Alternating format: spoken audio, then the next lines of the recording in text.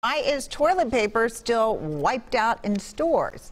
Industry analysts say that toilet paper is part of a very tight supply chain. It is big and bulky, so stores don't keep much inventory on hand. Also, household demand is up 40% as offices and schools close. There is some good news, though. Analysts say the panic buying from last month has eased somewhat, and toilet paper companies say they're making fewer varieties in an effort to speed up delivery to stores. Keep your questions coming. Email them to tips at WCCO.com. There are varieties? Yes, there are. Soft, triple ply, or what, you know.